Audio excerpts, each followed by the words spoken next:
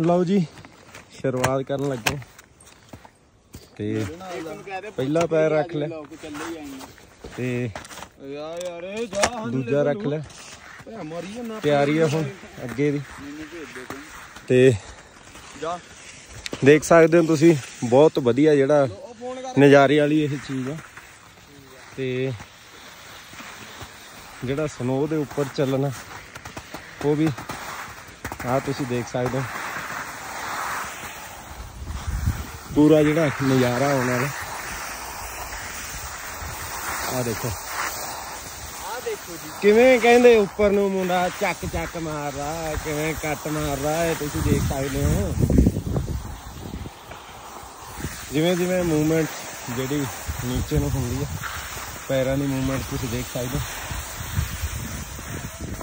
Slow ਕਰਨੀ ਹੈ fast ਕਰਨੀ ਹੈ ਪੈਰਾਂ ਦੇ ਸਿਰ ਤੇ ਜਿਹੜਾ ਇਹ ਕੀ ਵਾਦੀ ਘਟਦੀ ਹੈ ਸਪੀਡ ਉਸ ਹਿਸਾਬ ਨਾਲ ਹੀ, ਜਿਹੜੇ ਹਿਸਾਬ ਨਾਲ ਤੁਸੀਂ ਇਸ ਨੂੰ ਚਲਾਓਗੇ।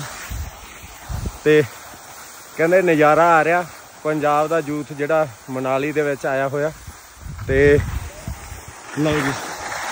ਕਹਿੰਦੇ ਐਂ ਗੱਟ ਮਾਰਦੇ ਐ ਐਂ ਗੱਟ ਮਾਰਦੇ ਐ ਐਂ ਥਾਂ ਤੇ ਹੀ ਵੱਟ ਦਿੰਦੇ ਐ